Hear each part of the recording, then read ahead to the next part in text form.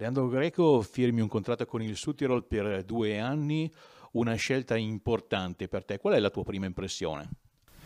Beh, innanzitutto per me è un piacere essere qui e devo dire le impressioni sono ottime perché veramente c'è tanta organizzazione mm, c'è tutto un centro sportivo bellissimo, quindi eh, la prima impressione è molto bella e molto positiva.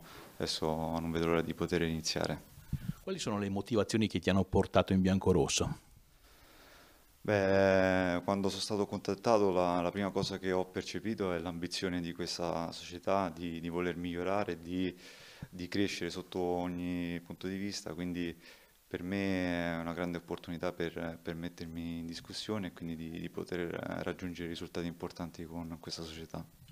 34 anni, una carriera importante alle spalle, ce la ricordi? Ce la sintetizzi?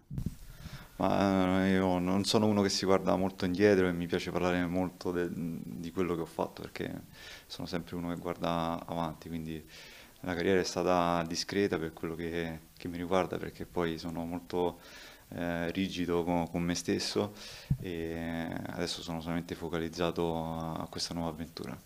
Quindi le cose più importanti sono quelle che arriveranno? Sempre, assolutamente così.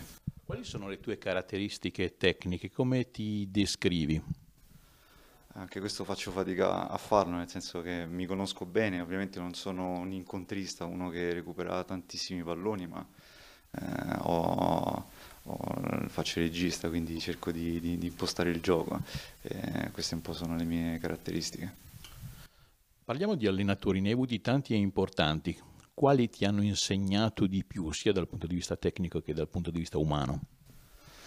Beh, ho, avuto, ho avuto, la fortuna di, di averne tanti bravi, eh, molti importanti che hanno fatto una carriera straordinaria.